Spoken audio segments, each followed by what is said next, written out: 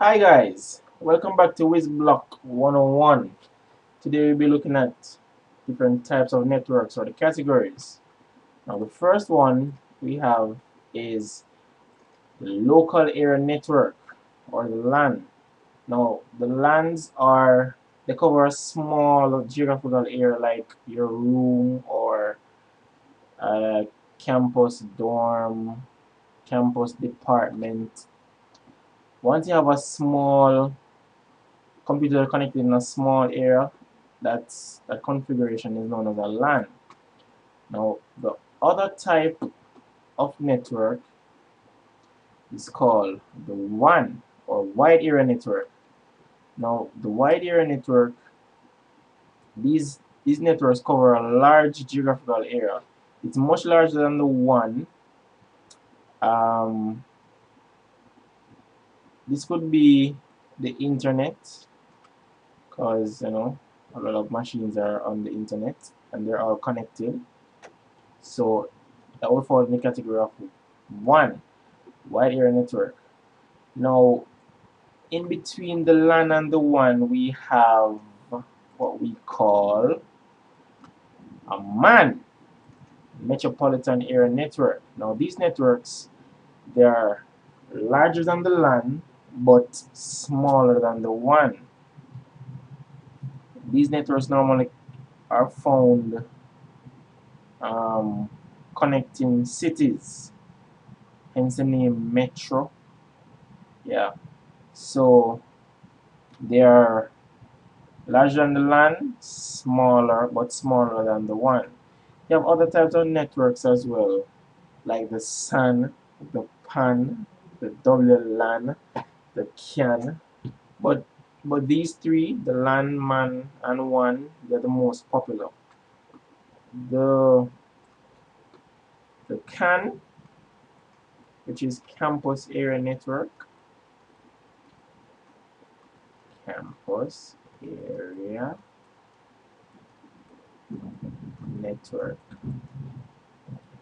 now these networks connect multiple LANs on a campus. For example, um, in a university you will have like the faculty of engineering, the faculty of business administration, faculty of engineering, faculty of business administration, school of computing now these faculties will have their own LAN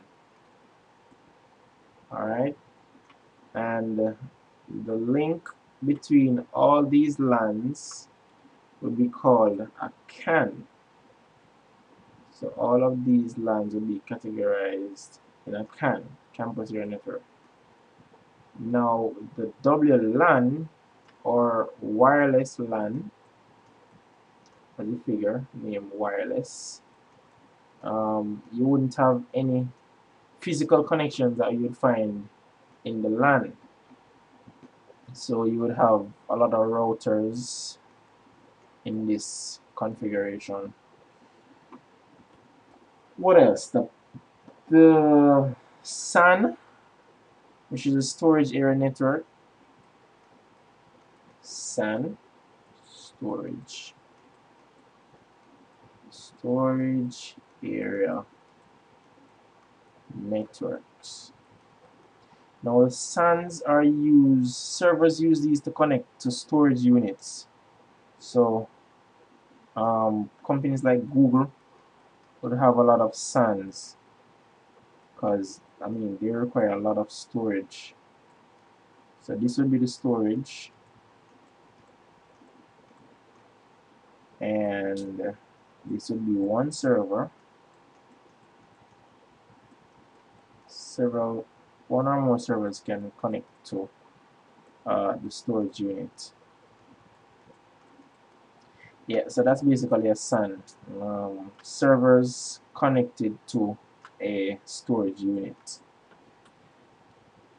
So yeah I think that's it. LAN, MAN and WAN the three main types of networks.